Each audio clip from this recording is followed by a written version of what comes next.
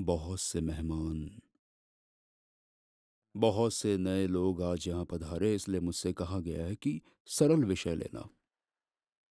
सरल मतलब जिसमें जैन शब्दावली बहुत ना हो, उस अर्थ में। महत्वपूर्ण विषय है। परम कृपालु देव ने मोक्ष मार्ग के अड़सठवें पाठ में मन के विषय में जो बात कही है उसका अध्ययन करके उस पर विचार करेंगे। मन को जीतना बहुत बहुत दुष्कर है। एक समय में असंख्यात योजन चलने वाला अश्व, ये मन है। इसे थकाना बहुत दुष्कर है। इसकी गति चपल और पकड़ में न आ सकने वाली है। महान ज्ञानियों ने ज्ञान रूपी लगाम से इसे स्तंभित करके सब पर विजय प्राप्त की है। उत्तराध्ययन सूत्र में नमीराज महर्षि ने शकेंद्र से ऐसा कहा कि दस लाख सुभटों को जीतने वाले कई पड़े हैं, परंतु स्व आत्मा को जीतने वाले बहुत दुर्लभ हैं। और वो दस लाख सुभटों को जीतने वाले की अपेक्षा अति उत्तम है। मन ही सर्वोपाधिक जन्मदात्री भूमिका है।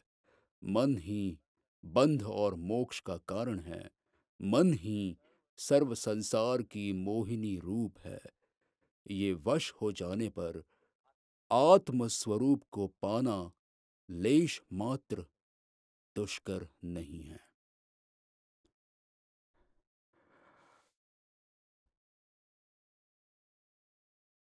एक बाप और बेटे रास्ते पर जा रहे थे।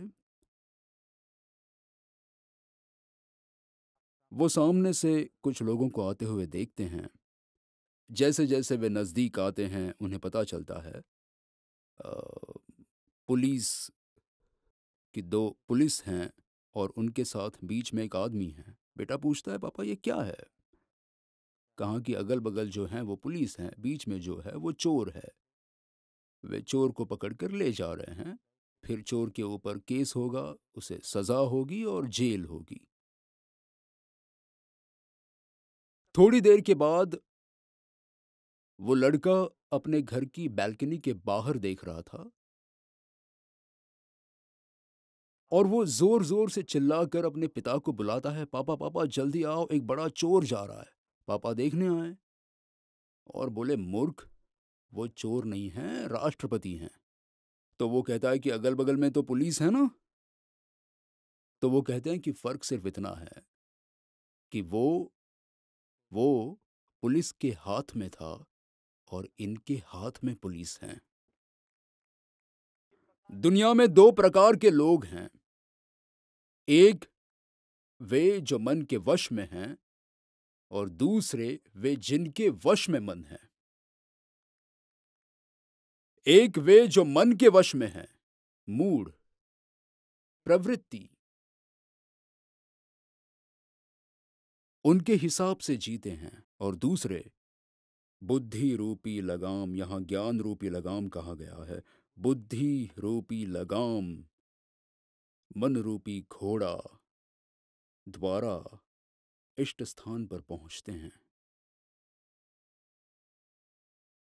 यहाँ कहा है कि मन बहुत चंचल है। कितना कहा है? एक समय में असंख्यात योजन चलने वाला अश्व अश्व मतलब घोड़ा यह मन है, बहुत चंचल है। एक क्षण में यहाँ, दूसरे क्षण में वहाँ। क्यों? कैसे उसे स्थिर किया जा सकता है? एक टीवी जैसा गैजेट भी यदि बिगड़ जाए तो हम उसे तुरंत रिपेयर करवाते हैं। और वापस ना बिगड़े उसका ज्ञान लेकर उसकी सावधानी बरतते हैं। मन बहुत चंचल है। दिए की जोत से भी अधिक चंचल है। फ्लेम, दिए की जोत कितनी चंचल है, उससे भी अधिक मन चंचल है। चंचल है इसलिए अस्थिर है। अस्थिर है इसलिए शांत नहीं है। शांत नहीं है इसलिए दुखी है। चंचलता के कारण विक्षिप्तता और उसके कारण मलिनता मलिनता के कारण दुखरूप बनता है। चंचल क्यों है? मुझे सरल तरीके से लेना ना आज। मन क्यों चंचल है? ज्ञानी दो कारण बताते हैं। एक मन वर्तमान में नहीं रहता।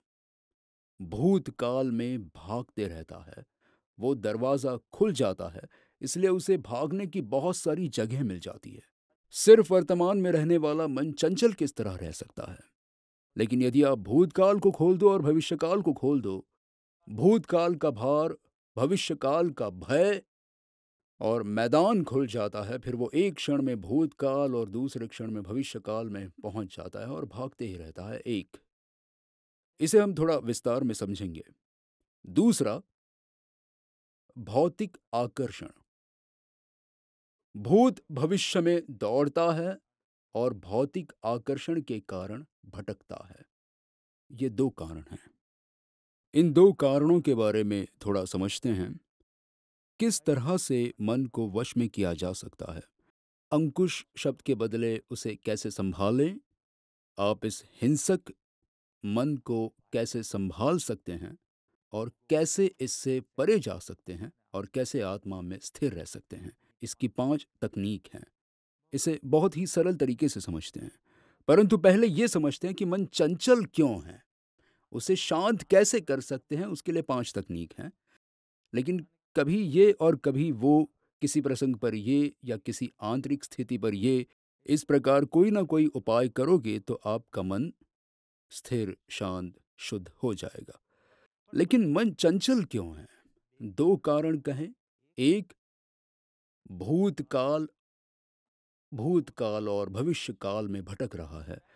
समझो कि तुम्हारी क्षमता एक कटोरी खीर खाने की है। उसके बदले तुमने तीन कटोरी खीर खाई। क्या होगा? पेट? अपसेट होगा, पेट खराब हो जाएगा।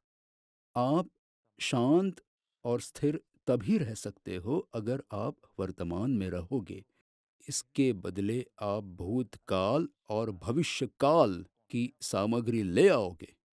तो क्या होगा? मन परेशान होगा। तनाव बढ़ जाएगा। इतने में इतना ही भार लिया जा सकता है, उसके बदले आप उस पर तीन गुना भार डालोगे तो स्वाभाविक है कि तनाव बढ़ जाएगा। तनाव बढ़ेगा, चंचलता बढ़ेगी, मलिनता बढ़ेगी दुखी होंगे। प्रश्न आता है कि जो याद शक्ति है, उसका क्या करें? हमारे अंदर स्मरण शक्ति है शक्ति अंतर्निर्मित है। किसी की कम, किसी की ज़्यादा स्मरण शक्ति है और कल्पना शक्ति भी है। स्मरण शक्ति भूतकाल को खोदती ही रहती है। कभी कभी आप उसे याद भी नहीं करना चाहते, लेकिन वो आ जाता है क्योंकि वो भूतकाल में था। और कल्पना शक्ति है तो आपको सिर्फ़ कल्पना करना है। और यदि आप एक नकारात्मक व्यक्ति हैं तो आप नकारात्मक कल्पना करना चाहते हैं। और यदि आप एक सकारात्मक व्यक्ति हैं तो आप सकारात्मक कल्पना करना चाहते हैं, लेकिन कल्पना शक्ति भी काम कर रही है। वास्तव में दर्शन शक्ति सबसे कम है। जो वर्तमान में ही केंद्रित रहती है, वो सबसे कम है। स्मरण शक्ति और कल्पना शक्ति बहुत विकसित है। हम ज्ञान आराधना करते हैं याद शक्ति को बढ़ाने के लिए। समस्या यही है। हम क्या करें? याद शक्ति है, उसका नाश कर दे। मन को शांत करना है, मन को चंचल नहीं रखना है तो क्या करें? तो कहते हैं कि याद शक्ति के साथ विवेक को जोड़ दो।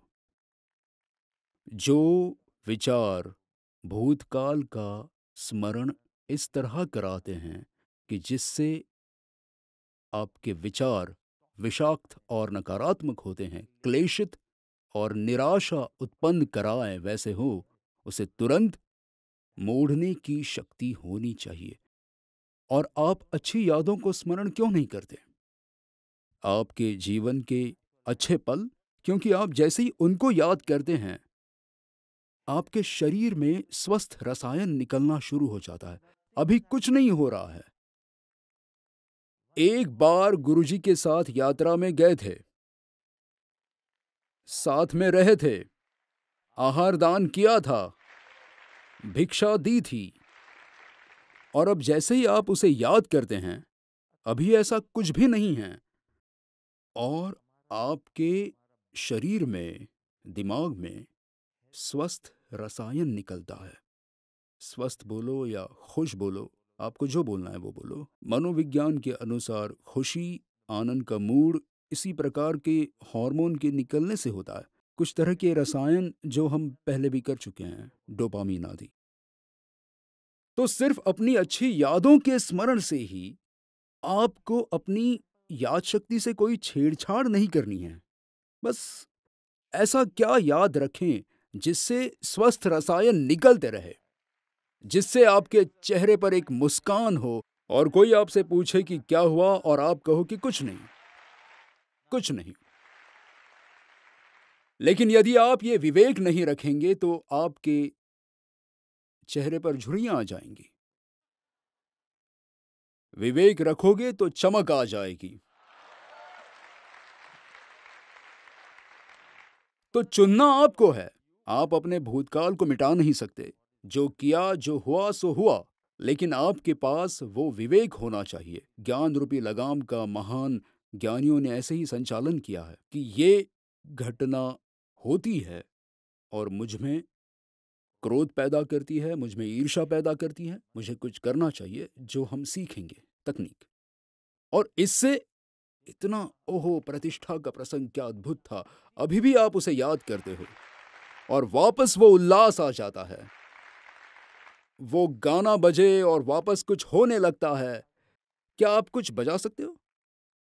सुवर्ण सुवर्ण, क्या? सोनेरी सोनेरी। पहले से ही समय की कमी है, लेकिन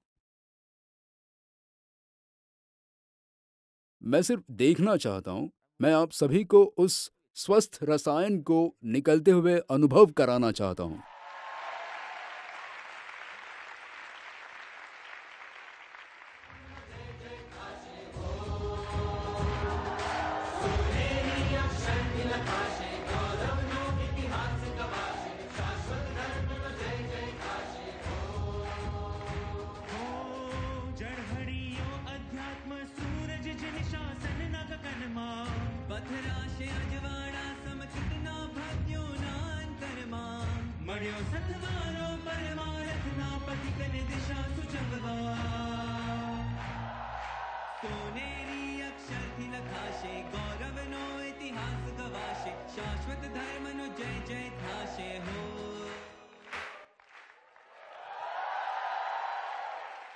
प्रतिष्ठा होने के बाद क्या बीच में कोई अशुभ घटना नहीं घटी? आपके जीवन में कोई खराब प्रसंग घटना नहीं हुई है, लेकिन आप उसे नहीं, बल्कि इसे याद रखना पसंद करते हैं। वास्तव में लाभ लेने जैसा कुछ था ही नहीं कि इन्होंने लाभ लिया है या उन्होंने, क्योंकि हम सभी ने हिस्सा लिया था। उन दानेश्वरियों को, उनको बहुत देर के बाद पता चला कि हमें लाभ मिलेगा। हम सबने लाभ लिया था। हम नाच रहे थे, उनकी महिमा का आनंद ले रहे थे। तो अब आपके पास एक विकल्प है। आज सुबह ही कोई ऐसी क्लेशित घटना घटी हो। लेकिन आप चुनते हैं कि मेरी याद शक्ति उस एल्बम को खोल दें। देखिए, अगर आप सतर्क नहीं होने वाले हैं तो फिर मन तो जैसे ही एक घटना में गया और फिर ऐसा करते करते भविष्य में पहुँच जाएगा। था तो भूतकाल का, पर अब उनके साथ बोलने ही नहीं वाला हूँ, ऐसा करके भविष्य में। तो आप चुनिए, किसके जीवन में दुख नहीं होता है, राम या कृष्ण? किसके जीवन में नहीं है? यही तो पूरा उपदेश है। तो अच्छी तरह से अब आपको सीता की स्थिरता रुचि, मार्ग पर रहना, स्वीकृति याद होंगे। वैसे ही राम के संबंध, मनोभाव, नैतिकता याद होंगे। आपको ये सब याद होंगे। तो ये आपके हाथों में है, जैसे भूत, वैसे भविष्य। मैं आपको सोने का सबसे अच्छा तरीका बता रहा हूँ। तकिया और कंबल लें और सो जाएँ। पर आप चिंता को भी लेना चाहते हैं।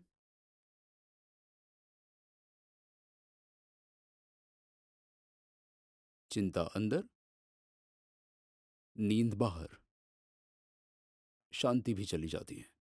सिर्फ़ एक, अगर आपको चाहिए तो दो तकिया लीजिए। लेकिन आप एक तकिया, एक चिंता लेकर सोने जाते हैं। शांति चली जाती है, नींद उड़ जाती है। अगर शारीरिक थकान के कारण नींद आ भी गई तो ऐसे डरावने सपने आएँगे कि जब उठते हैं, तब थके हुए लगते हैं। सुबह उठते हैं, तब से हमें लगता है कि सपने में बहुत दौड़े हैं भाई। इतने थके हुए लगते हैं। अरबस्तान में एक अरबी ऊँट पर जा रहा था। सर्दी का मौसम था। और रेगिस्तान में सर्दियों में बहुत ठंड होती है। तो रात हुई और उसने तंबू लगाया। तंबू बहुत छोटा था।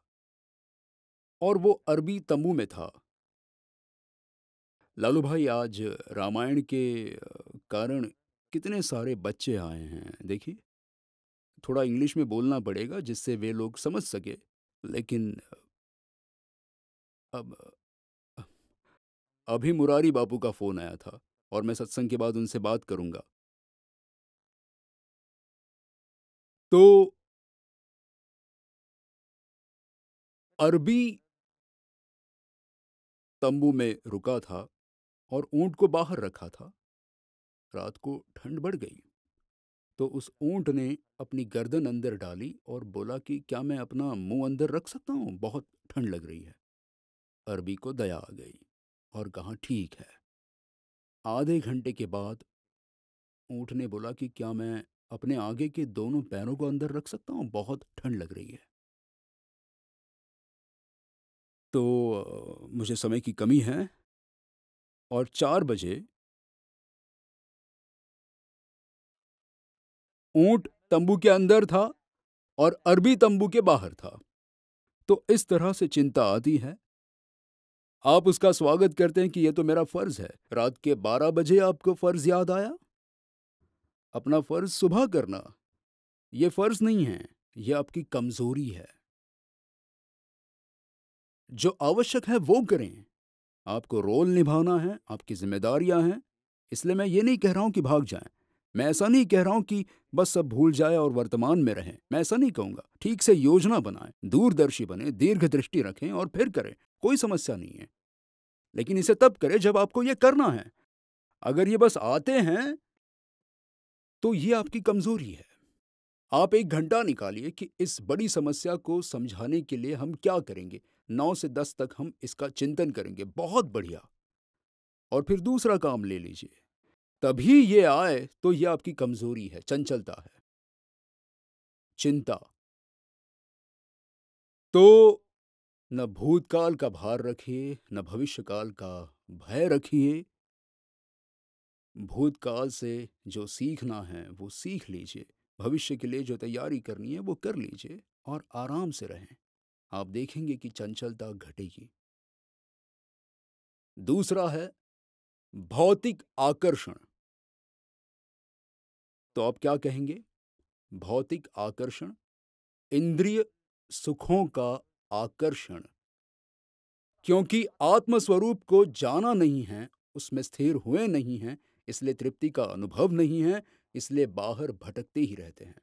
अलग अलग विषयों में मन भटकेगा। अभी तो मन की चंचलता के विषय में सोचना है कि चंचल क्यों है और अब कई विकल्प खुल गए हैं। जैन टर्मिनोलॉजी में आप कहेंगे अनंत।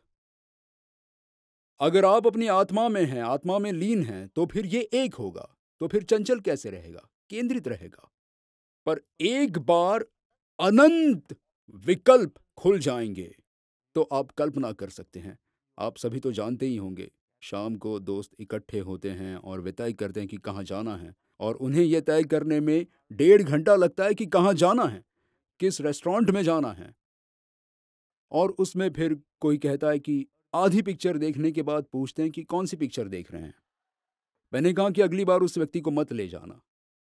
यदि उसमें समूह भावना नहीं है, यदि फ़िल्म बोरिंग है तो भी आपको अंत तक रहना है, क्योंकि फ़िल्म से ज़्यादा महत्वपूर्ण है सामूहिक भावना।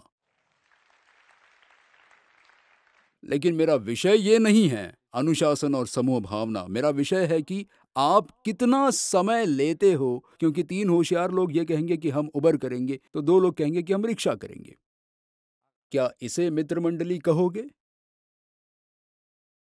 क्या इसे मित्र मंडली कहोगे? कोई कहता है कि इस रेस्टोरेंट में जाना है और किसी को इसमें, क्योंकि इतने सारे विकल्प मौजूद हैं। और इसलिए आपका मन चंचल है। अरे, रेस्टोरेंट में पहुँचने से पहले ही थक जाते हैं। ठीक है, ये सभी संसारी जीवों की, उनके संबंधित क्षेत्रों की कहानी है।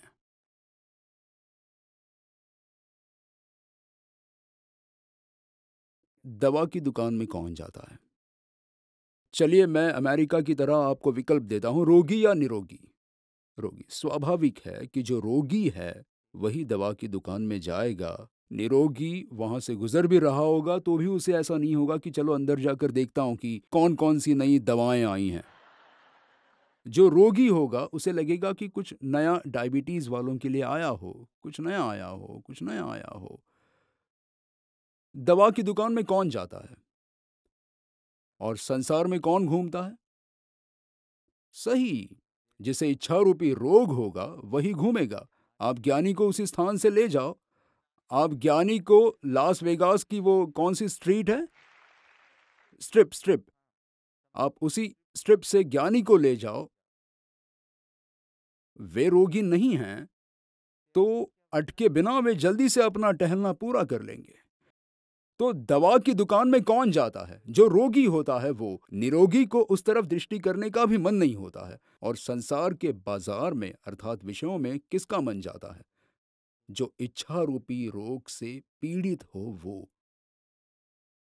और फिर तो एक बार ये जग गया तो फिर चारों कषाय। जैन धर्म में चार कषाय, क्रोध, मान, माया, लोभ। लोभ, अर्थात विषय को भोगने की इच्छा जागी है, वो लोभ है। फिर उसे पूरा करने के लिए माया आएगी ही। आप थोड़ा बहुत कपट तो करोगे ही। बराबर? और फिर वो पूरी हो तो आप अभिमान भी करोगे ही और पूरी नहीं हुई तो आपको क्रोध भी आएगा ही। आपने ये एक गलती की, अज्ञान। उसके कारण आकर्षण, उसके कारण इच्छाएँ। और फिर आप लग गए उन इच्छाओं को पूरा करने में। आप एक छुट्टी की भी योजना बनाते हो। उसमें कितना समय और ऊर्जा चली जाती है। कौन से होटल में रहेंगे कौन सी फ़्लाइट में जाएँगे क्या क्या करेंगे, पैसा वसूल कैसे करेंगे? गुजरातियों के बीच में बात कर रहा हूँ। आप जानते हैं कि जगह से ज़्यादा पैसा वसूल करना अधिक महत्वपूर्ण है। हाँ? भव्य नाश्ता है, लेकिन भूख नहीं है। पर पैसा वसूल करने का ऐसा रोग है और उसमें हमारे आसपास वाले सिर्फ़ दो सेब खाकर रख दे और कहें कि आज बस इतना ही तो आप कहेंगे, पागल है क्या? फ्री है? और ये ठेठ गुजरातियों की मानसिकता है और मैं इससे बाहर नहीं आ सकता हूँ। भले ही आप कितनी भी ऊंचाइयों में पहुँच जाओ, लेकिन वो गुजराती मानसिकता रहती है।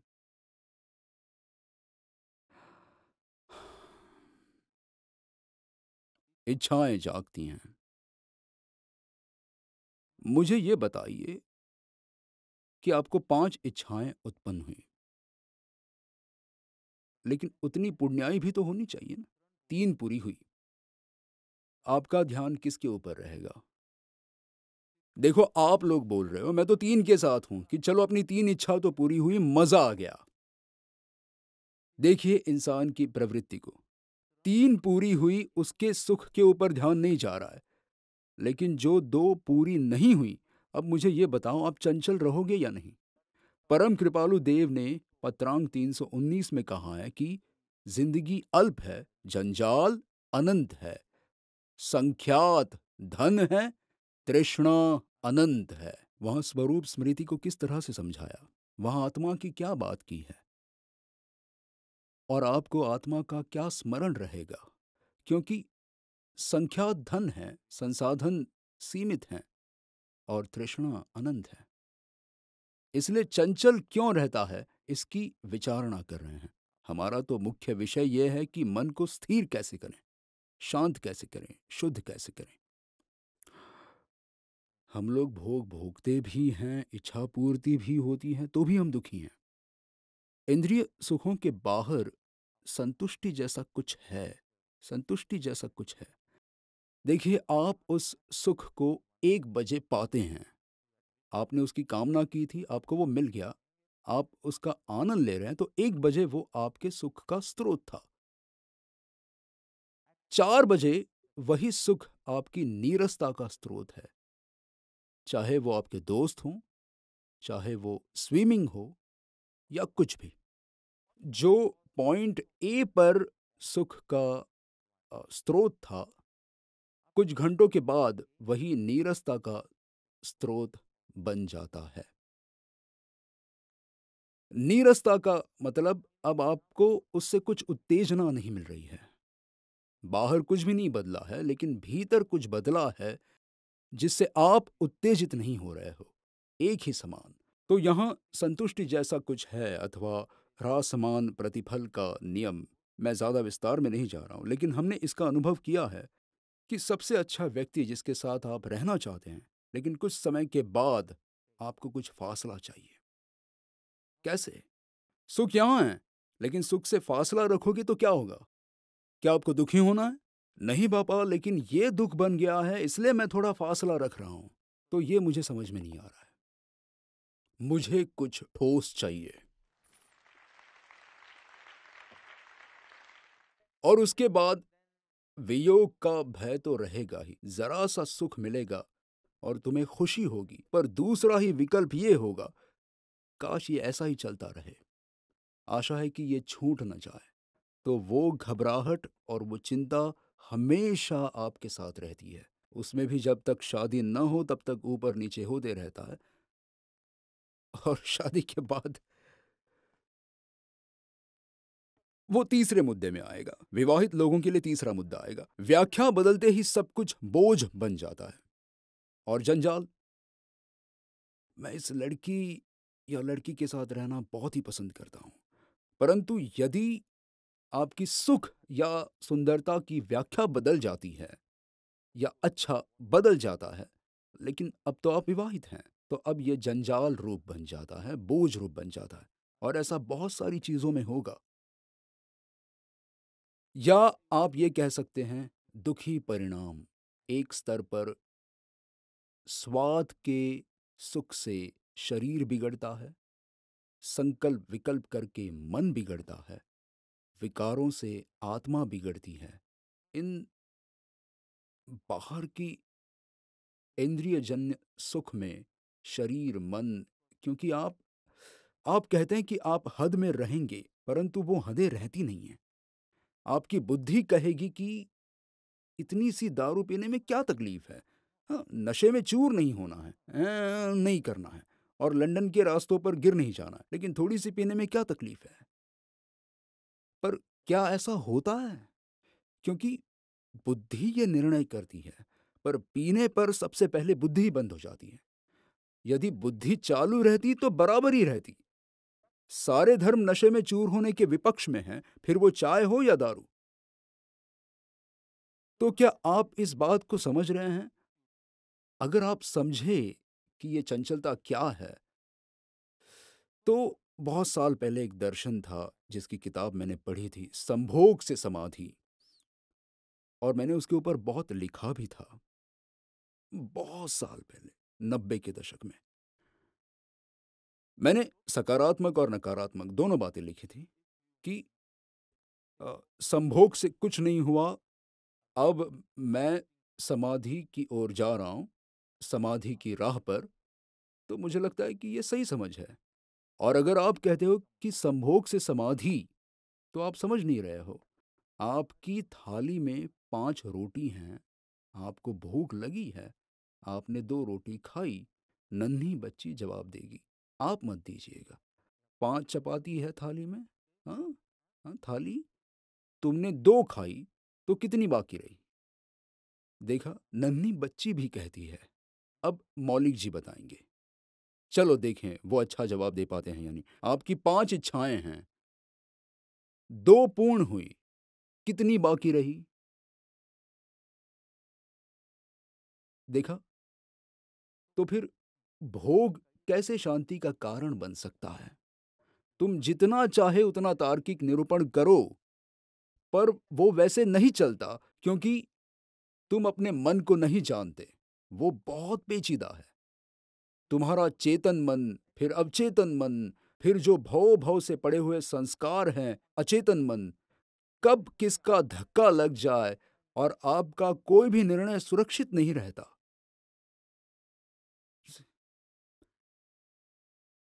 क्यों शांतिनाथ भगवान, क्यों कुंथुनाथ भगवान, क्यों अरनाथ भगवान जो चक्रवर्ती भी थे और उसी भव में तीर्थंकर भी बने? उन्होंने क्यों छोड़ दिया? एक चीज़ बहुत स्पष्ट हो चुकी थी कि संसार में सुख की कोई संभावना नहीं है।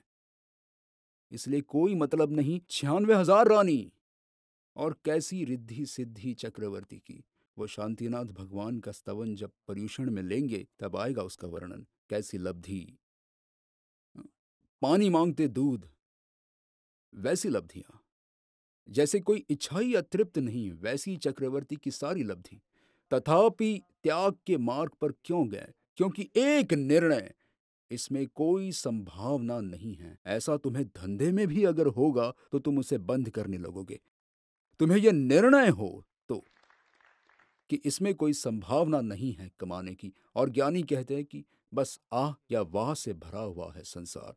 आज आह हा हा हा और कल वाह वाह वाह वाह। इन दोनों से ही भरा हुआ है। आर्यवीर जैसा, उसे भी दो शब्द आते हैं, ओ या तो वो कहेगा या फिर वाओ। वो खुद कुछ प्रदर्शित करेगा, और अगर हम व्यस्त हो तो वो अपने आप ही कहेगा वाओ तो फिर हमें भी कहना पड़ता है वाओ। तो मैंने उससे सीखा कि इन दो चीज़ों में ही पूरा संसार है। ओह! वैसा कुछ आह या वाह, और इस आ वाह की चाह में पिस जाते हो तुम।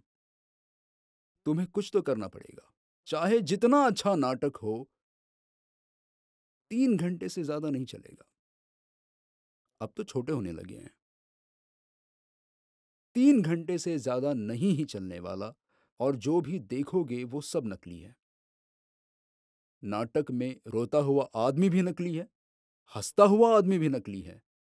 ज्ञानी कहते हैं, सकल जगत ते ऐठवत, अथवा स्वप्न समान। तीन घंटे जितना ही हैं स्वप्न समान, और अरमणीय हैं, क्योंकि बहुत जल्द तुम्हें समझ में आएगा कि हर कोई अपने आप को ही प्रेम करता है। तब भी जब वो कहता है आई लव यू वे खराब या गलत नहीं हैं, पर यही संसार है। और अगर ये जानकर तुम प्रेम के दाता बन सको तो तुम धार्मिक हो। तुम्हें पता होना चाहिए कि अपेक्षा रखना व्यर्थ होगा। मैं प्रेम देना चाहता हूँ बिना कोई अपेक्षा के, और बस। तो तुम्हें वैराग्य की ज़रूरत पड़ेगी। वैराग्य मिलेगा प्रभु भक्ति में से। कुछ ज़्यादा अच्छा लगता है ना तो वैराग्य आता है पूछो रूपा बहन को, या बावरी बहन, क्या कहूँ आपको? क्योंकि बावरे की तरह मैंने उनके भजन सुने हैं। पहले तो मैं पूछता था कि तेजपाल में है तो तेजपाल में जाता था। दो में तो मैं उपस्थित था, एक तेजपाल में और एक, सबब में कहीं। और, श्रीनाथ जी के ऐसे भजन, अभी मैंने एक भजन गाने के लिए कहा तो गला खराब ये और वो। आज तो मैं गवा कर ही रहूँगा। अभी यहाँ नहीं, चिंता नहीं करें। रूम में दो लाइन। तो बावरी ही दरअसल, मैं तो बावरी बहन ही कहता था। आज पता चला कि रूपा बहन है। तो अच्छा है। मेरे ख्याल से उन्नीस सौ सतासी से वैसे तो परिचय है।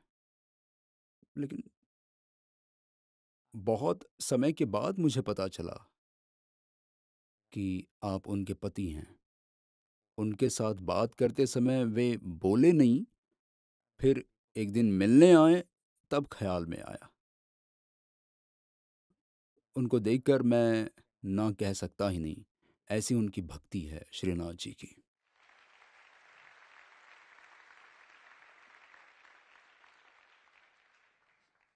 पूरा होने के बाद समय मिलेगा तो इस विषय में मुझे थोड़ी बात करनी है, परंतु पहले मेरा ये विषय ख़त्म कर दूँ उसके बाद।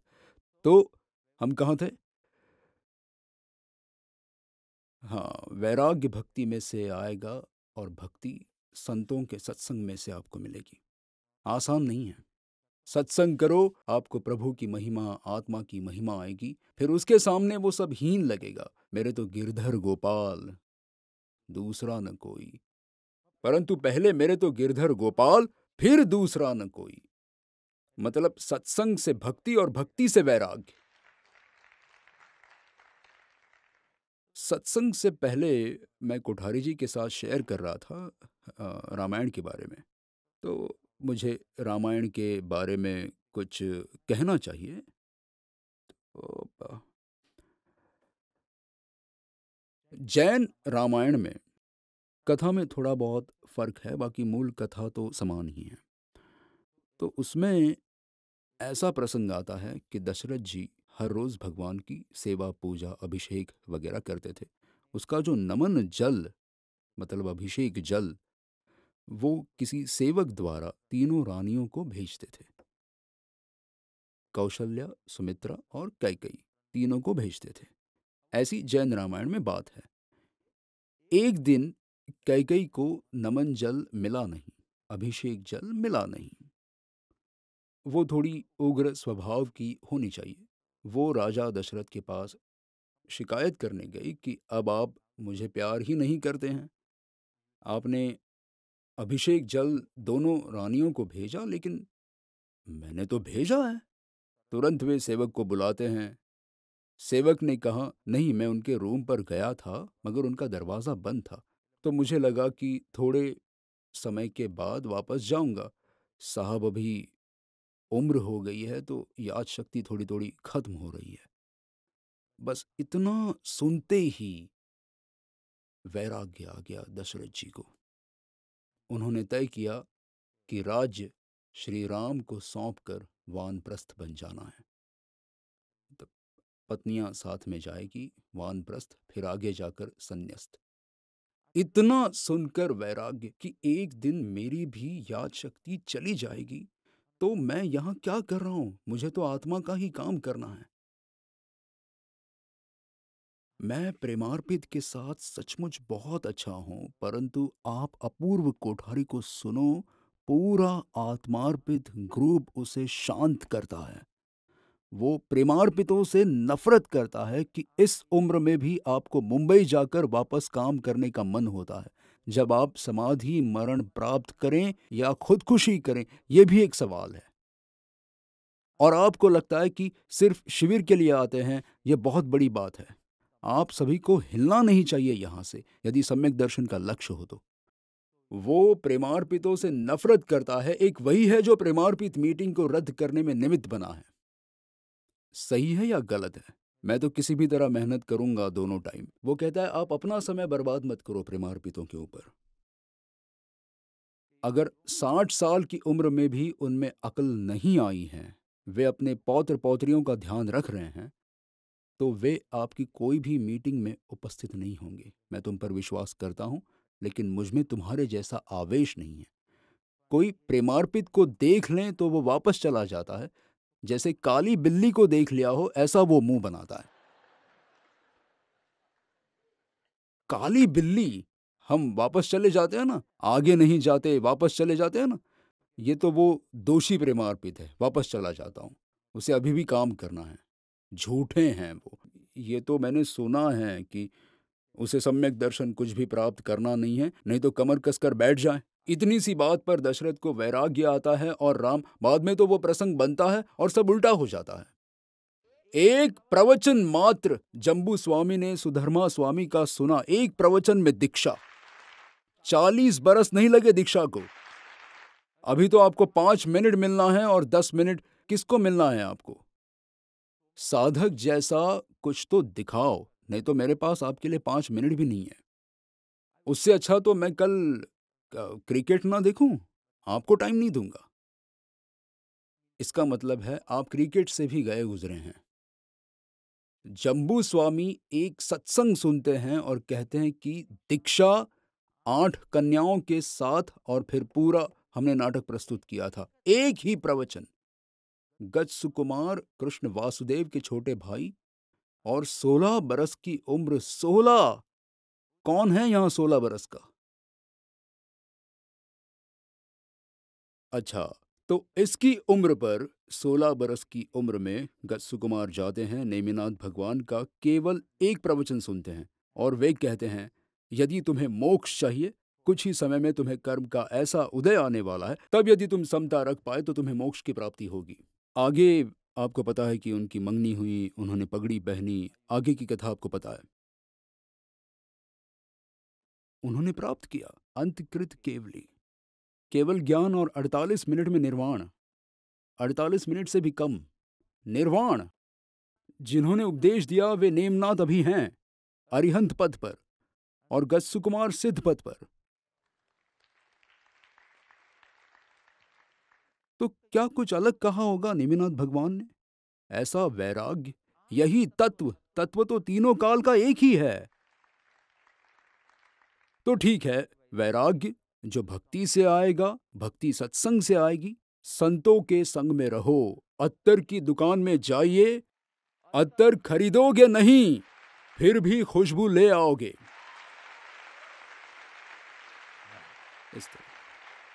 इतनी पात्रता ना हो, यहाँ अर्थ की अपेक्षा से, यहाँ गुण की अपेक्षा से, पर अत्तर की दुकान से चक्कर लगाकर बाहर निकलोगे तो आप में से भी खुशबू आनी शुरू हो जाएगी। सत्संग का ऐसा प्रताप है। आपके फ़ोन में सिम कार्ड डालना पड़ता है, फिर फ़ोन एक्टिवेट होता है। आत्मा में भी सिम कार्ड डालना ज़रूरी है एस आई एम एस से सत्संग आई से इंट्रोस्पेक्शन और एम से मेडिटेशन आपकी यात्रा सत्संग से शुरू होती है। आत्मनिरीक्षण से आगे बढ़ती है। ध्यान पर खत्म होती है। सिम डालिए, आत्मा एक्टिवेट हो जाएगा। खुद को सशक्त करें। मनुष्य जन्म बहुत दुर्लभ है। बस दो दिन पहले किसके यहाँ पगला करने के लिए जाना हुआ था, चौपाटी पर। आपके घर के आसपास ही, रूपा बहन। यदि आप अभी भी पुराने घर में रह रहे हैं तो। अच्छा तो मैं उन्हें बता रहा था, एक राजा शिकार पर निकले थे। और एक गरीब आदमी को देखा, राजा को दया आ गई। राजा ने एक पूरा क्षेत्र चंदन के बाग का, उसे चंदन बाग कहा जाता था, उसे भेंट कर दिया। कहा, तुम भी सुखी हो। राजा गए राजमहल में। वो व्यक्ति चंदन के वृक्ष देख खुश खुश हो गया कि अब इसके माध्यम से कैसे धन प्राप्त किया जाए। तो उसने एक एक वृक्ष को जलाना शुरू किया। जलाने पर जो कोयला बनता, उस कोयले को बेचकर पैसे बनाता। लगभग 80 प्रतिशत वृक्ष को जलाकर, उनका कोयला बनाकर उसे बेच दिया और वो काफ़ी खुश था। एक दिन राजा ने सोचा, चलो देखूँ, इस व्यक्ति ने चंदन बाग का क्या किया? वे वहाँ पहुँचे और ये सब देखा। और हैरान हो गए। और वो व्यक्ति कहता है, आपकी कृपा से मैं बहुत सुखी हूँ, अब तक का जीवन मस्त चला यदि आप मुझे एक और चंदन बाग भेंट कर दे तो मेरी बाकी की ज़िंदगी भी सफल, सब समेट कर बैठ जाऊँगा। तो राजा ने कहा, तुमने किया क्या? जला दिया? चंदन के वृक्ष को जला दिया? और कहा कि तुम इतना सा टुकड़ा उसमें से निकालो और बाज़ार में जाओ। और इतने वृक्षों को जलाकर जितने पैसे बनाए हैं, उतने केवल इस छोटे टुकड़े से मिल जाएँगे। अच्छा तो इसका ज़्यादा विवरण ना करते हुए ज्ञानी कहते हैं कि चंदन बाग मतलब ये मनुष्य भव और चंदन वृक्ष मतलब आपकी साँसें। अस्सी प्रतिशत खत्म हो गई हैं आपकी। अब जो बीस प्रतिशत बाकी हैं, उनका उपयोग कोयला बनाने में मत करना। अर्थ काम में बर्बाद मत करना, धर्म आराधना में लगाना। मन को जीतने में लगाना हमारा मुख्य विषय ही ये है। दरअसल अब मैं ये विषय शुरू कर रहा हूँ। समय से पूर्ण हो जाएगा। तो जब हम गाड़ी चलाना सीखते हैं, ड्राइविंग लाइसेंस लेने के लिए तो पहले दिन हमें अद्भुत गाड़ी चलाने के लिए ए बी सी का ज्ञान दिया जाता है। ए से एक्सलरेटर बी से ब्रेक सी से क्लच।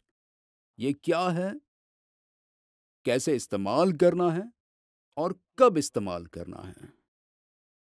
अब आप सीखेंगे ना सोलह बरस वाले। हाँ एक्सलरेटर क्या है? कहाँ है? कैसे इस्तेमाल करना है? और कब इस्तेमाल करना है? ब्रेक कब इस्तेमाल करना है? क्लच कब इस्तेमाल करना है? वैसे जब तक ये लोग सीखेंगे, क्लच का ज़माना ही नहीं रहा होगा। पर ऐसा है, एक ज़माने में ए बी सी था।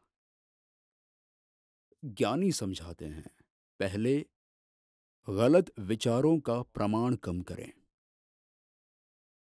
फिर उसकी गुणवत्ता को कम करें, मैं समझाऊँगा। और फिर उन विचारों की दिशा बदलें। इसी क्रम में आप आगे बढ़ पाएँगे। विचारों का प्रमाण मतलब कि उसकी आवृत्ति और लंबाई। गलत विचारों की गुणवत्ता मतलब उनमें रुचि और तीव्रता। और तीसरा है सकारात्मक दिशा में उन्हें मोड़ना। तो ये रास्ता है। तो पाँच तरीके हैं मैं संक्षिप्त में बताऊँगा। पहला है बदलना। बदलना या स्थानापन्न करना। तो इसका क्या मतलब है? कोई भी घटना घटती है, कोई भी प्रसंग बनता है। रुकिए। ज्ञानी के चरित्र या उनके वाक्य का अवलंबन ले।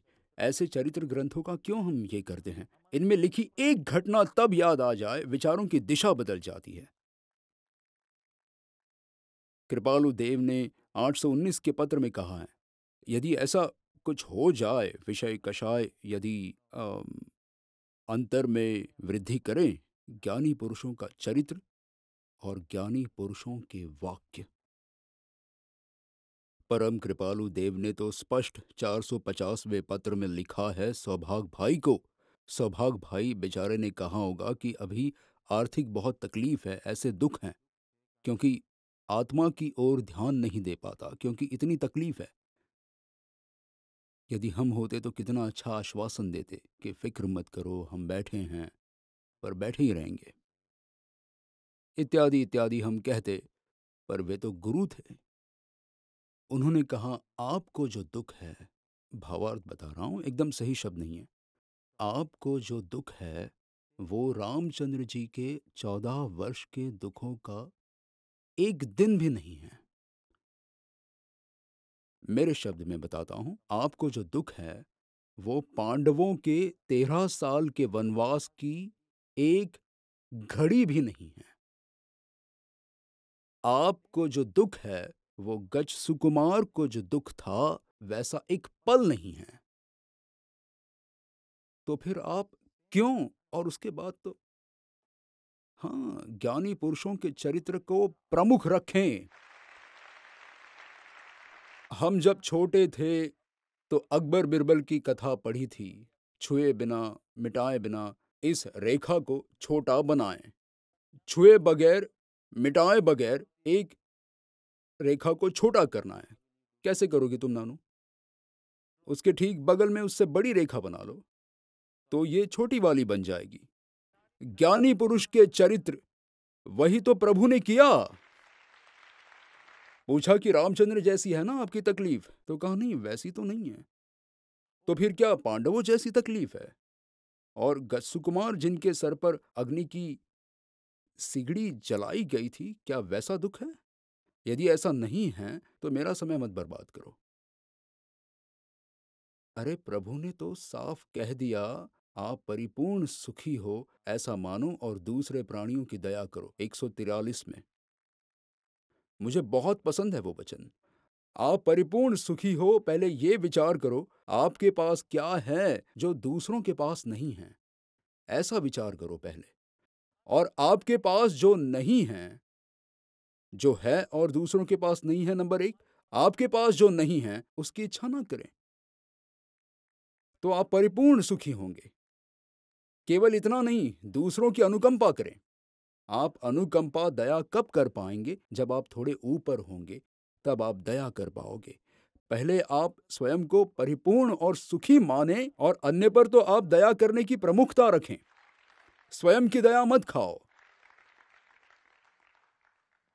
देखो, ज्ञानियों का चरित्र और मार्गदर्शन, ये दोनों मिलने पर आपको सकारात्मक विचारों का सर्जन करना है और स्थापन करना है जब दिमाग गलत दिशा में जा रहा हो और जहरीले या नकारात्मक विचार कर रहा हो, जागरूक रहें, उन्हें पकड़ें, रोके। ज्ञानी के चरित्र और वचन को याद करें, सकारात्मक विचारों का सर्जन करें और स्थापन करें। तो गाड़ी ऐसे ही चलेगी। ऐसे ऐसे। मंजू बहन को देखकर हिंदी बोलने लगता हूँ। तो ऐसे चलने लगेगी। सकारात्मक विचारों का सर्जन करें। कैसा है कि घटना वही रहेगी। पर जैसे ही आपके विचार बदलेंगे, आपकी गाड़ी कुछ अलग ही दिशा में जाएगी। घर का दरवाज़ा एक ही होता है। उसी दरवाजे से अंदर आ सकते हैं और दूसरे दरवाजे से बाहर। नहीं, इसी दरवाजे से बाहर जा सकते हैं। दरवाज़ा एक है। आप निर्णय ले, अंदर जाना है या बाहर जाना है। आत्मा की ओर जाना है कि संसार की ओर? आपको विचारों को बदलना होगा। सरल है। मैंने कहा है, स्थानापन्न, ना कि दमन करना। आप क्या करते हैं? आप उन्हें अटका देते हैं, दमित कर देते हैं। मैं चाहता हूँ कि आप स्थानापन्न करें। यदि आपको उससे नफरत नहीं करनी है तो मुझे बताओ क्यों नहीं? और आपको उसे पसंद क्यों करना चाहिए? तो कहानी नफरत नहीं करनी है, नहीं, फिर आप दमित कर रहे हो। मैंने आपसे कहा कि विचार का सर्जन करें और उसे स्थानापन्न करें कि नहीं, मैं उसे मुख्य इस पहलू से देख रहा था, पर मुझे उस पहलू पर ध्यान केंद्रित करना चाहिए। मैंने बस तीन दिन पहले मुल्ला नसरुद्दीन की बात कही थी, उन्होंने घर आकर मुझे कहा, पनीर की सब्ज़ी खानी है। किसे खाने का मन हो गया? बोलो। पनीर में अटक गया, पहले जानवी में अटका और फिर पनीर में अटका। तो कहा पनीर आ, आ, क्या मैंने कुछ गलत कहा? मैं माफ़ी मांग सकता हूँ अगर कुछ गलत कहा है तो। तो उन्हें पनीर चाहिए था। उन्होंने कहा पनीर की सब्ज़ी तो बहुत अच्छी होती है पेट के लिए बहुत अच्छी है। हाँ हल्का रहता है या क्या मुझे नहीं पता। पता नहीं पर पेट के लिए अच्छा है। हमें क्या करना है? मुल्ला जी की बात है। उन्होंने कहा, पेट के लिए बहुत अच्छा है। उनकी पत्नी ने कहा, मैं बनाती, पर घर में पनीर नहीं है। अगर आपको बहुत मन कर रहा है तो मैं बाज़ार से खरीद कर आती हूँ। पनीर पनीर, क्या आप कैसे बोलते हो? एले? वे लोग उसे इतना स्वादिष्ट बनाते हैं, पनीर पनीर, मुझे एक दिन खाने का मन हो गया। पनीर तो उसने कहा कि पनीर नहीं है, पर यदि आपको बहुत मन कर रहा है तो आपकी बीवी के जैसे नहीं कि नहीं है। तो कहा, मैं जाकर लेकर आऊँ और फिर बनाऊँ। तो कहा, नहीं नहीं, रहने दो। पनीर खाने से दांत में अटक जाता है। तो बीवी ने कहा, अभी तो आपने कहा बहुत अच्छा है। तो कहा, उसमें दोनों चीज़ हैं। कब कौन सी चीज़ पर ध्यान देना है, उतनी बुद्धि होनी चाहिए। घर में पनीर हो तो पेट के लिए अच्छा है और घर में पनीर ना हो तो दांत में अटक जाता है। आप हमेशा अपने विचारों की दिशा को बदल सकते हैं, सही विचार से स्थानापन्न कर सकते हैं।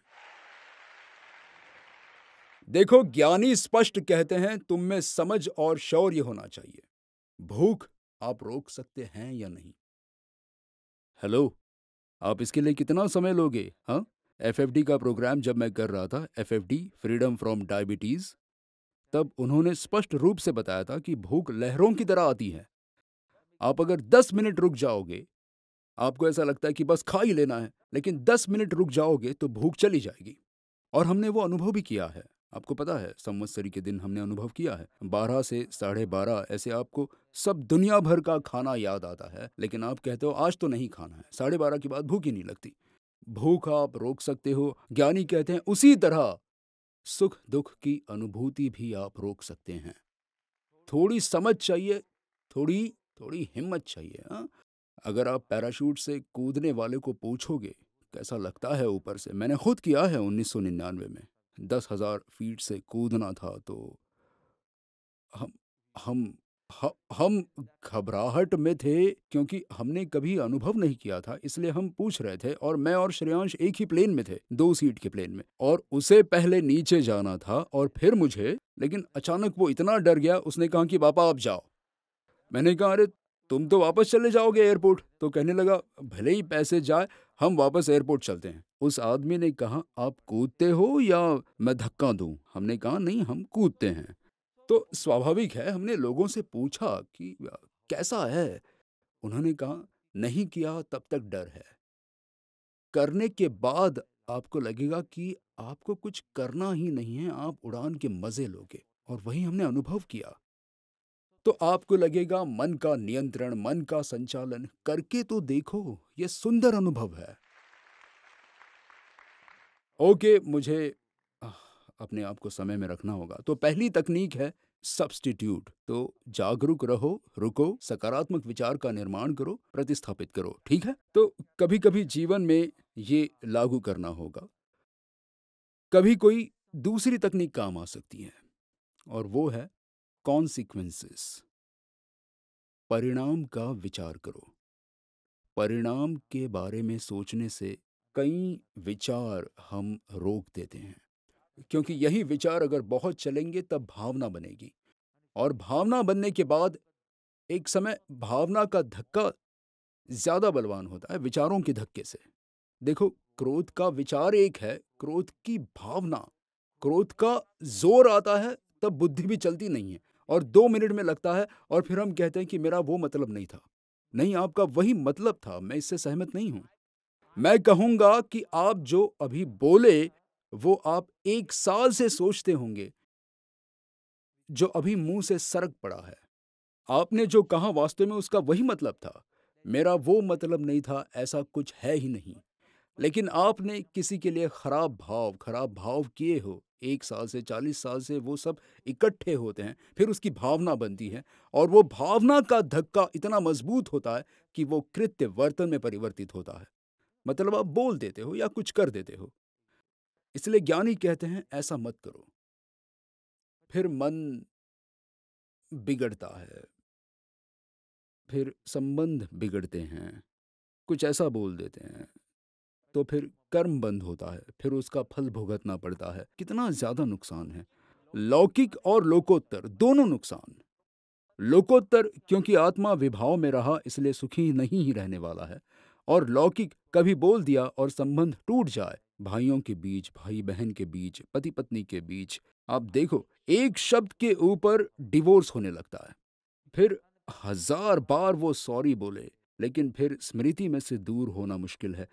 आपका मन क्लेशित होता है, आपके संबंध बिगड़ते हैं, आपके आत्मा की स्थिति बिगड़ती है, कर्म बंद, कर्म फल तो थोड़ा परिणाम के बारे में सोचो। अभी नेमी चौरासी पचासी का पत्र पढ़ रहा था आंक उसमें कितना सुंदर है नेमी जी। समझ के अल्पभाषी होने वाले को पश्चाताप करने का थोड़ा ही अवसर संभवित है। समझ के अल्पभाषी ज़्यादा बोल बोल ही मत करो, क्योंकि गड़बड़ बोलने से ही होती है ना। बिल्कुल, ज्ञानी का तो काम गहरा है कि नहीं, ऐसे विचार भट्टी में ही नहीं उत्पन्न होने चाहिए कि फिर बाहर आए। लेकिन आपको पता है, जो आप बोलते हैं, उसे आप वापस नहीं ले सकते। धनुष, देखा है, धनुष में से बाण छूटता है, फिर कुछ नहीं कर सकते। आपके होंठ का आकार देखो, किसके जैसा है? धनुष जैसा। किसी ने आपको किस नहीं किया? मेरा मतलब है, आपने किसी को किस नहीं किया? है आपकी लिपस्टिक के साथ? तो देखना, वहाँ भी धनुष का निशान बन जाएगा। कोई ना ही नहीं बोल रहा, पता नहीं क्यों। ओके, धनुष जैसा है, आपके शब्द बाण जैसे हैं कि एक बार जीभ में से निकलेंगे, इस धनुष में से निकलेंगे, फिर वापस नहीं लौटेंगे। सॉरी या मिच्छा में दुकड़म से भी आपके भाव साफ़ हो जाएँगे, लेकिन सामने वाले के होंगे या नहीं, वो प्रश्नार्थ ही रहेगा। एक बहन का अपनी सास के साथ थोड़ा झगड़ा हुआ होगा। ना बोलने जैसा बोल गए होंगे। फिर उन्हें दुख हुआ, गुरुजी के पास गए और गुरुजी ने कहा, एक कागज़ लो और कुछ भी लिखो उसमें, कोई पद या कविता, कुछ भी। बहन ने लिखा, फिर कहा उसे फाड़ दो? फाड़ दिया। फिर कहा, इस खिड़की से बाहर दूसरे, तीसरे मंजिल पर थे तो कहा अब उसे खिड़की से बाहर फेंक दो? खिड़की के बाहर फेंक दिया। फिर गुरुजी ने कहा, अब सारे पेपर वापस इकट्ठा कर लाओ। एक बार मुँह में से निकला।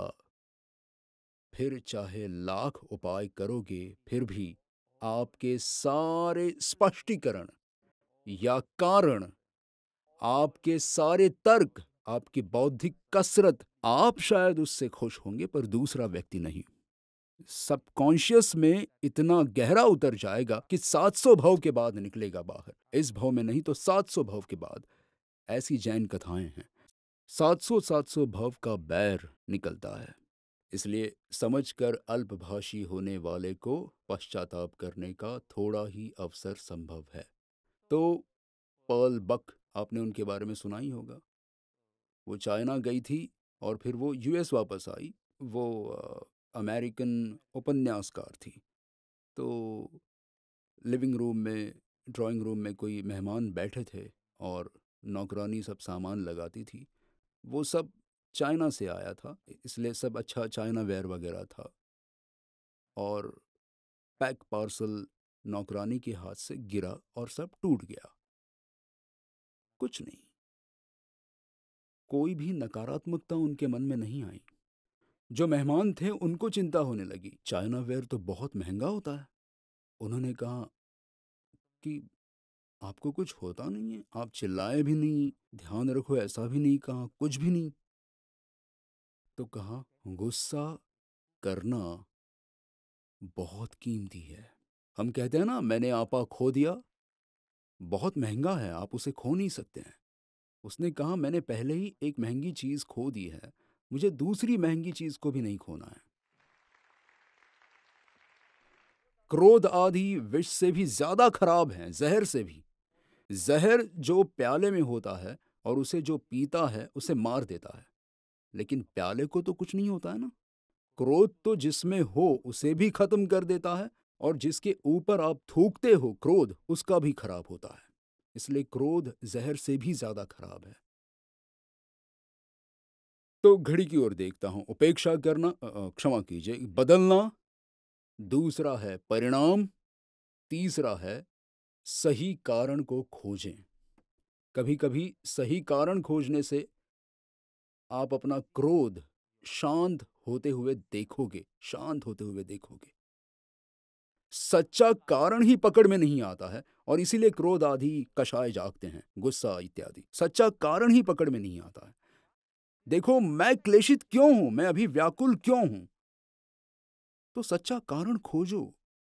अगर आप सही में चाहते हो कि आपका मन चंचल ना बने, मलिन ना बने, शांत रहे तो सच्चा कारण खोज लो। आपको हमेशा लगता है कि आपको सच्चा कारण पता है। देखिए, तीन दृष्टिकोण हैं इसमें। अधम मध्यम उत्तम। अधम व्यक्ति कहेगा, वो वो मेरी व्याकुलता का कारण है, वो मेरे क्रोध का कारण है, उसको दूसरे ही उसके दुख का कारण, अशांति का कारण, क्लेश का कारण लगेंगे। और देखो, हम जब भारत में ड्राइविंग करते हैं, तब हमें लगता है कि लोगों को कैसे चलना है वो नहीं आता है। कहीं से भी आ जाते हैं। जब हम चलते हैं तो हमें लगता है कि लोगों को कैसे ड्राइविंग करना वो नहीं आता है। रुकना तो चाहिए ना, हम चल रहे हैं, वो दिख नहीं रहा है। तो गलती हमेशा उनकी है। आप चलना भी जानते हैं और आपको ड्राइविंग करना भी पूरी तरह से आता है। ये काम नहीं करेगा। तो चालीस साल पहले का एक दृष्टांत कहूँ आपको, क्योंकि उस वक्त आपका जन्म नहीं हुआ था। तो एक व्यक्ति गाँव से शहर जा रहा था। तो उसका एक मित्र, जिसको कई बार शहर जाना होता था, उसने कहा, आप शहर जा रहे हो तो एक चीज़ भूलना नहीं, एक नया पेय निकला है थम्स अप जैसा, वो सही में चखने जैसा है, ये सत्तरवें दशक की बात है। तो थम्स अप जैसा ड्रिंक अपना काम खत्म होने के बाद उसे याद आया उसने थम्सअप की एक बोतल खरीदी और उसने सोचा, बहुत प्यास लगेगी, तब पीऊँगा। वो एक गुज्जू होगा जिसने मारवाड़ी से शादी की होगी। तो उसने खरीदा क्योंकि वो गुजराती था और उसने रखा क्योंकि वो मारवाड़ी था और वो पीने वाला था क्योंकि वो भारतीय था। तो उसने सोचा, मैं सही वक्त पर पीऊँगा। फिर ट्रेन में बैठा। ट्रेन चलने लगी। आपको पता है, ट्रेन लोनावला तक पहुँची और आप जब लोनावला जाते हो, तब बहुत सारी सुरंगें आती हैं। कौन सा घाट? मुझे याद नहीं आ रहा है। चलो, कुछ नहीं, अब कोई जाता ही नहीं लोनावला। तो सुरंग आई और उसे हुआ कि, चलो, थोड़ा पी लेता हूँ। उसने खोला अब आप आठ अलग तरीकों से ढक्कन खोल सकते हो। वही जो उसने दिखाया था, बाल से आप खोल सकते हो, आपके बेल्ट से आप खोल सकते हो, आपको अब ओपनर की ज़रूरत नहीं है। तो उस व्यक्ति ने रिया को बुलाया कि तुमने वीडियो में अपने बाल से खोला था तो क्या आप खोल सकती हो? उसने खोला। उसका स्वभाव मदद करने का है तो उसने खोला और फिर उसने घूंट पिया। इतनी बार में क्या हुआ कि ट्रेन ने एक सुरंग में प्रवेश किया और ये भारतीय रेलवे है, इसलिए लाइट होने पर लाइट चलेगी ही ऐसा ज़रूरी नहीं है। एकदम अंधेरा था अंधेरा था। पीते पीते उसे लगा कि इसे पीने से आँखों में अंधेरा छा गया। मुझे बंद करना चाहिए, मुझे बंद करना चाहिए, चालीस साल पहले मैंने कहा था। तो उसने कहा ये पीना नहीं है। इतनी बार में तो ट्रेन सुरंग से बाहर आ गई। अब कोई थम्स अप नहीं। जैसे हमने 2001 में व्रत ले लिया था काला आ, काला ड्रिंक वगैरह नहीं आ, उसने भी व्रत ले लिया। कुछ भी नहीं। ये कारण कार्य संबंध सही था? क्या सही कारण था? सुरंग में गई इसलिए अंधेरा था और सुरंग से बाहर निकली इसलिए उजाला था। उसका थम्सअप के ड्रिंक की बोतल से कुछ लेना देना नहीं था। लेकिन अज्ञानता की वजह से कारण कार्य गलत हो जाता है, इसलिए मैं कहता हूँ कि वो मेरे दुख का कारण है। और वो मेरी चंचलता, चिंता, इन सब का कारण है। इसे कहते हैं अधम, सबसे बुरे प्रकार का दृष्टिकोण रखने वाला व्यक्ति। देखो सबका अलग अलग रहेगा। किसी को पूछेंगे कि, आज की रात कैसी थी? तो कहेंगे, भयंकर। किसी को पूछेंगे, आज की रात कैसी थी? तो कहेंगे, मधुर मिलन, मधुर। रात तो रात है।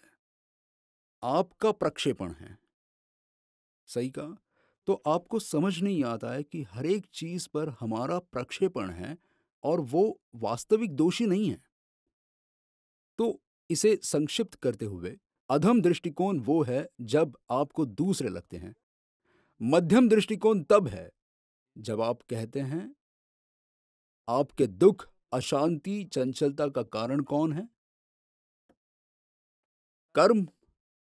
आपको कर्म फिलॉसफी पता नहीं है? चलो जाँच करते हैं। जैसा बोओगे, वैसा काटोगे।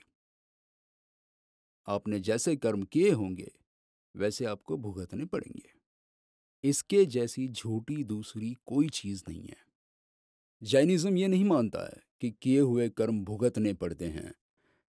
जैनिज्म कहता है, उदय आए हुए कर्म भुगतने पड़ते हैं। किए हुए कर्म सत्ता में हो, तब तक कुछ भी कर सकते हो आप। किए हुए कर्म भुगतने पड़ते हैं, ये बहुत सामान्य कथन है। फिर धर्म ही करने की कोई ज़रूरत रहती नहीं है। लेकिन सत्ता में हो, अबाधा काल वगैरह, मैं विस्तार में नहीं जा रहा। तब आप उसे ख़त्म कर सकते हैं निकाचना कर सकते हैं, उसका रस बढ़ा सकते हैं, कम कर सकते हैं, स्थिति बढ़ा सकते हैं, दस चीज़ कर सकते हैं। उपशमना वगैरह वगैरह। इसलिए किए हुए कर्म भुगतने पड़ते हैं, कभी भी जैन होकर बोलना नहीं। मैंने किए हैं, लेकिन मैं प्रायश्चित कर लूँगा। मैं भुगतूँगा नहीं। लेकिन एक बार उदय में आ जाए तो उसके लिए शब्द है प्रारब्ध। इसलिए वचनामृत में बार बार प्रारब्ध उदय ऐसा है कि जिसके कारण अब भुगतना ही पड़ेगा। उसके पहले ही खत्म कर दिए होते तो अलग बात थी। आप समझ रहे हो? तो कर्म, आप तो धार्मिक लगते हैं जब कर्म की बात करते हो तब। धार्मिक माने जाओगे जब आप बोलोगे कि ये मेरे वेदनीय कर्म हैं, ये मेरे ज्ञानावरणीय, लेकिन आप अपनी वर्तमान भूल की उपेक्षा कर रहे हैं यह आपको समझ नहीं आ रहा है। कर्म के ऊपर छोड़कर तात्कालिक शांति आ जाती है, लेकिन आपके दोष तो रहते ही हैं। क्योंकि आपने तो कर्म के ऊपर डाल दिया ना। मैंने पानी पूरी खाई थी, इसलिए मेरे पैर में सूजन है। लेकिन अशाता वेदनीय कर्म ही ऐसे हैं। तो ये गलत नहीं है, लेकिन उसके ऊपर डालकर मुझे खट्टा तीखा खाना नहीं चाहिए, ये तो आप भूल गए ना। कर्म पर डालकर तात्कालिक समता आ जाती है, कर्म ऊपर डालकर, लेकिन दोष जाता नहीं है। आपको समझ में आ रहा है? कर्म सिद्धांत है, लेकिन ये सब दृष्टांत मैं कहूँगा, एक भी मुझे मान्य नहीं है। एको पॉइंट पर जाकर जो बोलो, वही सुनना पड़ता है, जो बोते हैं, वही उगता है और फल देता है अरे उसके पहले बीज निकाल दो तो नहीं उगेगा। आप कुछ नहीं करोगे तो उगेगा ही, फल देगा ही। एक बाप और बेटा था, फ़िल्म देख रहे थे, और आपको पता है, भारतीय फ़िल्म गानों से भरी हुई होती है। पेड़, ऋषभ और उसकी डैश। ऐसा है कि सबको पता है, लेकिन तय नहीं है इसलिए। तो माता पिता की ओर से आए तो इसका तो आ गया है इसलिए। दोनों तरफ़ के माता पिता कहेंगे तब मैं मुक्त भाव से कहूँगा। वरना यह सब गलत है। तो वहाँ पेड़ है और नायक ऐसे जाता है और नायिका ऐसे जाती है। एक दृश्य तो ऐसा होता ही है। हाँ तो हीरोइन नायिका गा रही है। हाँ, तो बाल ऋषभ कहता है, आह, हेमा मालिनी बहुत अच्छा गा रही है। उसके पिता ने कहा, बेवकूफ़, लंदन जाकर भी इतनी समझ नहीं आई कि ये लता मंगेशकर गा रही हैं, वो तो सिर्फ़ होंठ हिला रही हैं। लंदन में जाकर तुम्हें ये सिखाया नहीं है?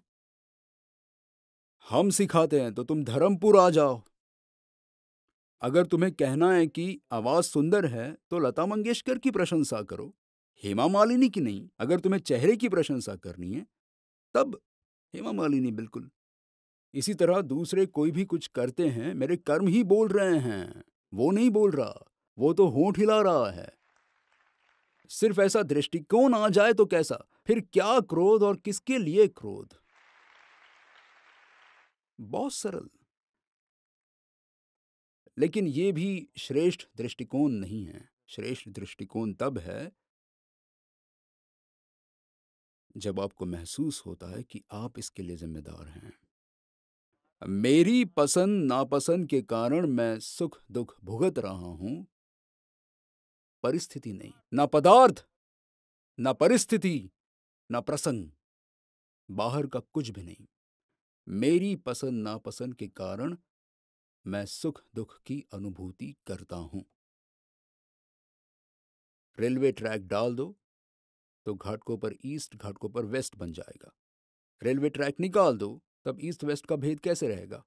आप विकल्प रखो। इसलिए अब ये सुख और ये दुख। रूपा बहन, क्या खाना है कल दोपहर को भोजन में? क्या खाना है? भिंडी की सब्ज़ी खानी है? भिंडी की सब्ज़ी खानी होगी, इसलिए उन्होंने अब रेलवे ट्रैक डाले। अब भिंडी की सब्ज़ी बनेगी, तब वो सुखी होंगी। और मटर की सब्ज़ी बनेगी, ज़्यादा महँगी तो वे दुखी होंगी। लेकिन अगर वो कहें, आपकी जो इच्छा हो वो। आप तो गाते हैं ना ऐसे, हरी इच्छा जैसे वही मम हित का। आप तो इच्छा करते ही नहीं होंगे कोई। क्योंकि हरी फिर दो दो लोग क्यों इच्छा करें? एक ही करें ना। ड्राइवर सीट पर एक ही को रखेंगे ना। पैसेंजर दो होंगे तो चलेगा, लेकिन ड्राइवर दो हो तो क्या होगा उस गाड़ी का? पैसेंजर भले ही दबाकर बैठे तो अठारह अठारह लोग एक रिक्शा में बैठते हैं। और उसकी वीडियो बाहर आती है एक एक एक एक एक एक निकलते जाते थे। पता है, ड्राइवर कितने थे? बस ड्राइवर तुम तय करो, हरी हैं तो तुम नहीं। तुम्हारी पसंदगी, नापसंदगी, तुम्हारे चुनाव तुम्हें प्रतिक्रिया करवाते हैं। तो तुम्हें यह पता करना होगा कि मेरे अहंकार और मेरी अपेक्षा ने ही मुझे दुखी किया है। और किसी ने नहीं। एक सास पूजा करके लौट रही थी, मंदिर से लौट रही थी। एक बहन मिली, कहा आपके घर ही गई थी छाछ लेने? तो पूछा तो क्या हुआ? आपकी बहू ने कहा छाछ नहीं है? चलो मेरे साथ। कहीं उसने छाछ छिपा कर रखा हो, क्या पता चलेगा? आखिर सास है भाई। तो वापस घर आई तो फिर जैसे ही घर पहुँचे तो कहा छाछ तो नहीं है? तो कहा नहीं था तो फिर मुझे क्यों घर ले आई? वही मना कर देना था ना? ये तो आपकी बहू ने भी कहा था तो कहा, बहू कौन बड़ी आ गई मुझसे पूछे बिना आपको मना करने वाली? मैं अभी घर की मालकिन हूँ। आपको ऐसा सब, आपको हँसी आती है ना कि पागल है क्या? ऐसा अहंकार रखते होंगे भला। मैं आपसे यही कह रहा हूँ, पागल हो, ऐसी छोटी चीज़ में पकड़ कर रखते हो। ये ये ये सभी उंगलियाँ अलग अलग आकार की हैं, उन्हें लचीला बनाओ और झुकाओ। देखना वे सब एक समान रेखा में होंगी। एक ही जगह पर। यहाँ एक बड़ी है, एक छोटी है वगैरह। लेकिन जब अगर सारे लचीले बन जाए ना तो आप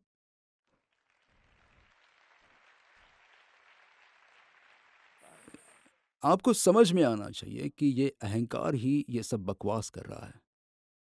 तो अगर आप सही कारण ढूंढ पाते हो थम्सअप सही कारण नहीं था। सही कारण तो सुरंग थी। मेरे दुख का कारण तुम नहीं थे, या मेरी चिड़चिड़ाहट के। मेरे कर्म भी नहीं। मेरा अहंकार, मेरी अपेक्षाएँ, अगर आप कर सकते हो तो सब कुछ आसान बन जाता है। ठीक है? तो पहला, परिस्थापन करें या बदल दे। दूसरा, परिणाम, शायद ये जानकर कि बहुत लंबा चलेगा, ये उससे अच्छा शांत हो जाओ। मन बिगड़ेगा, संबंध बिगड़ेंगे वगैरह। तीसरा, सही कारण ढूंढना। तो अगर मुझे समझ में आया कि ये मेरा अहंकार और मेरी अपेक्षाएँ हैं तो मैं तुम पर गुस्सा क्यों करूँ?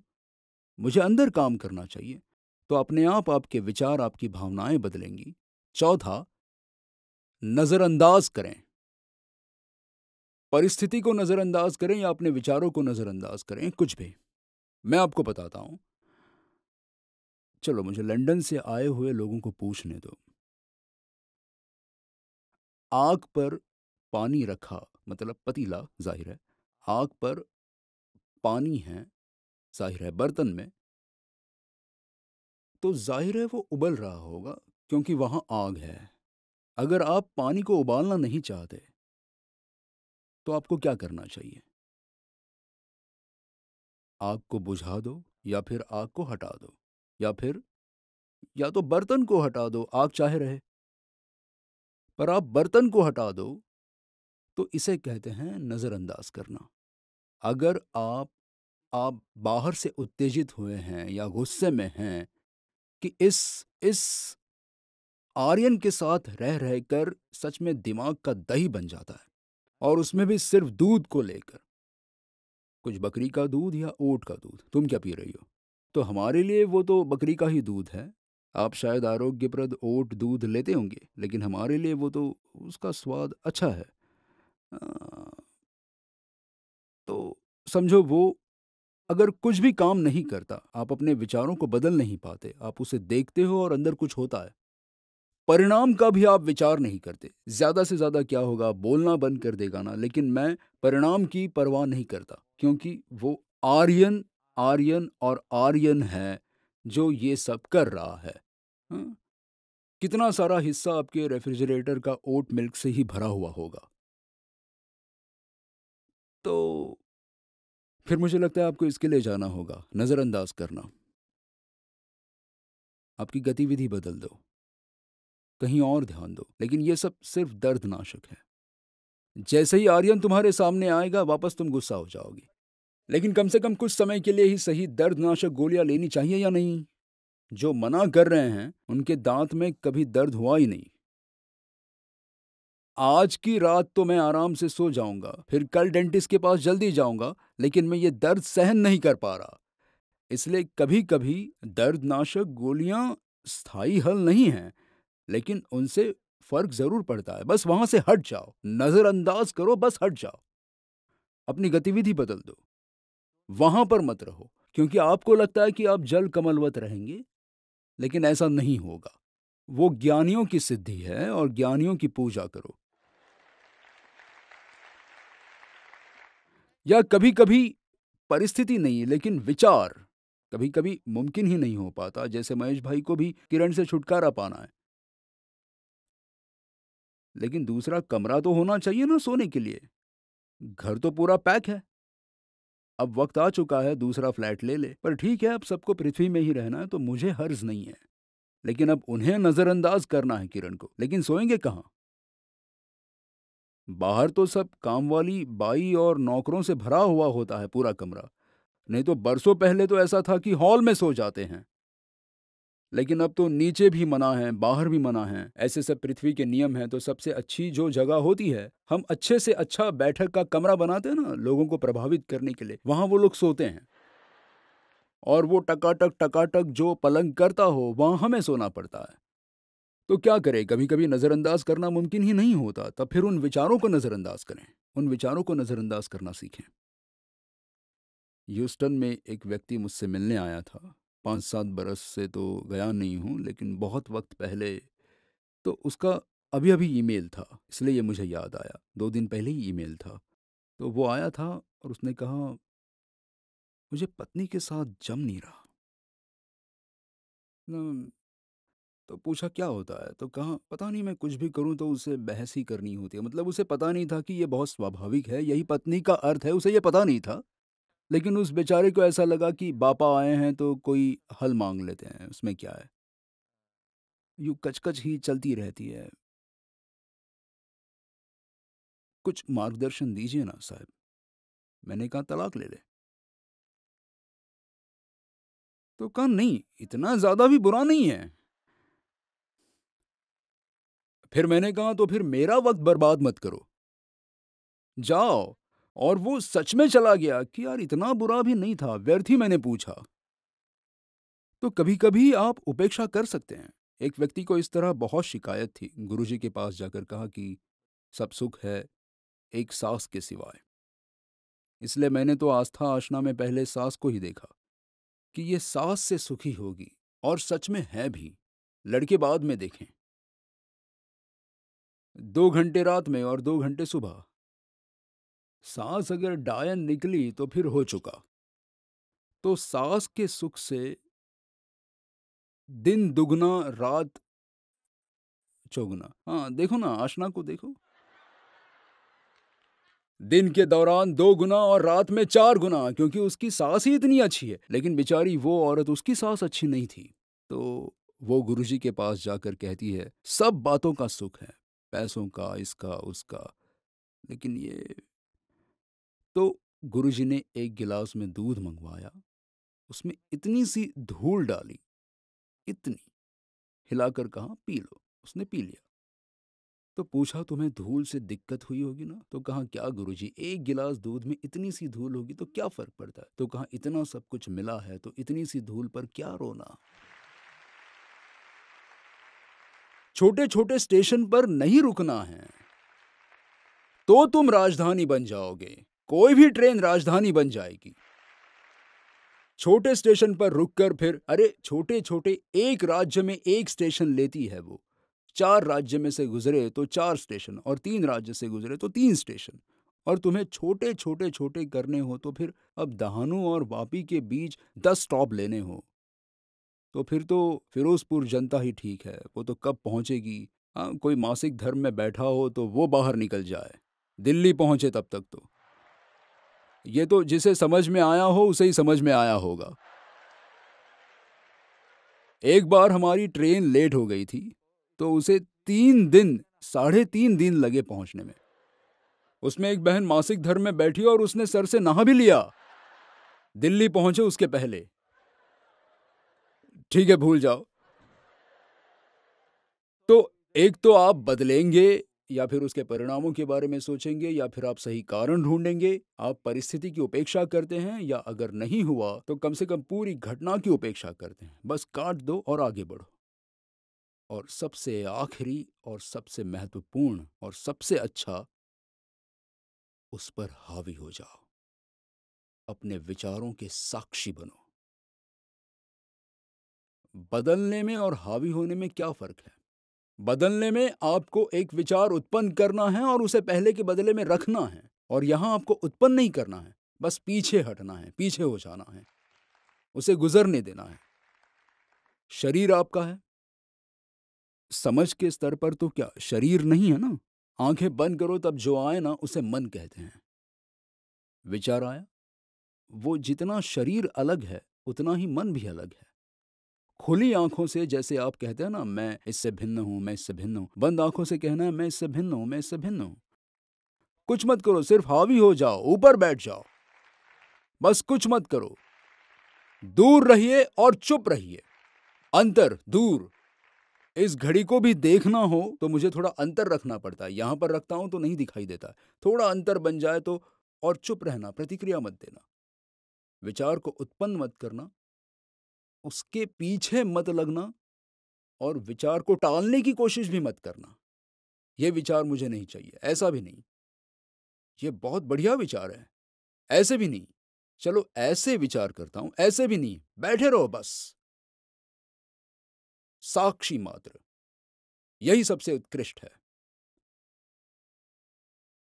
वृक्ष है तो पक्षी आते हैं और पक्षी जाते हैं। उनके साथ वृक्ष भी आता है और जाता है, या वृक्ष वही स्थिर रहता है? उसी तरह तुम स्थिर रहो। विचार आता है, विचार जाता है, विचार आता है, विचार जाता है। हवाई अड्डा तो जहाँ है, वहीं रहता है ना। प्लेन आना जाना करता है। हवाई अड्डे की तरह बनो तुम। प्लेन मत बन जाओ। बस इतना ही। आसमान में बादल आया, बादल गया। काला बादल, सफ़ेद बादल, लेकिन आकाश को कहाँ स्पर्श हुआ? कुछ भी नहीं। तुम्हारी आत्मा शुद्ध ही है। सूरज, बादल। बादल सूरज को ढक सकते हैं, लेकिन वो सूरज के अंदर कभी नहीं जा सकते। ताकत ही नहीं है। वे सूरज की तरफ़ जाएँगे ना तो भाप, क्या होता है उसका पता नहीं, बादल ही नहीं रहता। कोई अशुद्धि तुम्हारे शुद्ध द्रव्य दल में गई ही नहीं, चिंता मत करो।